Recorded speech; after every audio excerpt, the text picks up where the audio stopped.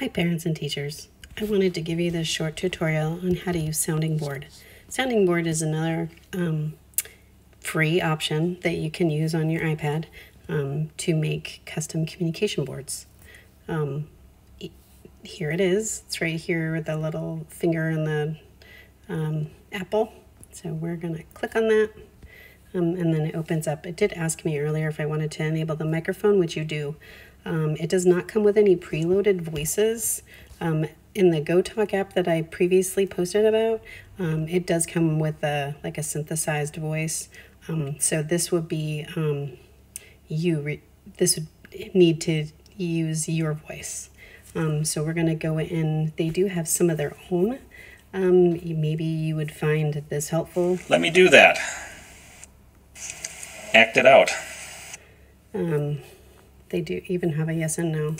Yes. No.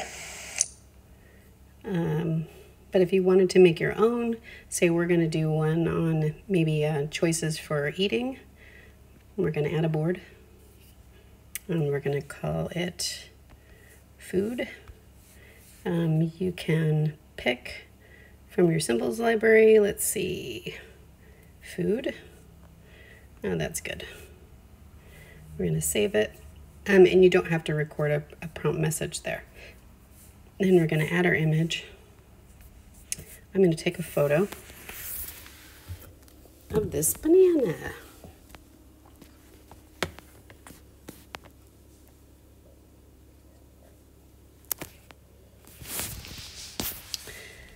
We are going to call it banana. And then we're going to record a message. I want the banana, please. And then just make sure that you hold it all the way over, that your button goes all the way over, or it won't keep the recording. Um, then we're going to add another one, and let's see what we can find um, in our symbols library. Let's say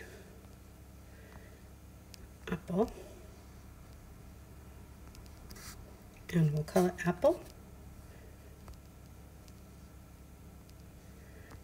I want an apple, please. I want an apple, please.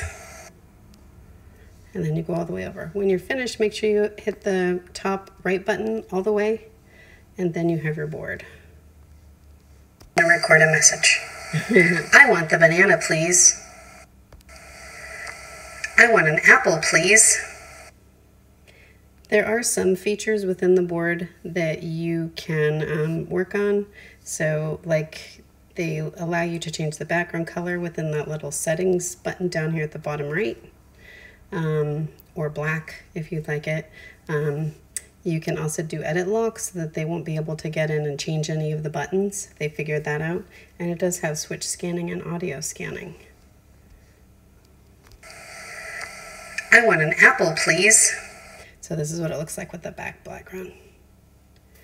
Um, anyway, that's a, this is a pretty simple one. You can do whatever you'd like as far as adding um, custom things from your home that your child might want to ask for um, or do. All right. Well, thank you and have a great day.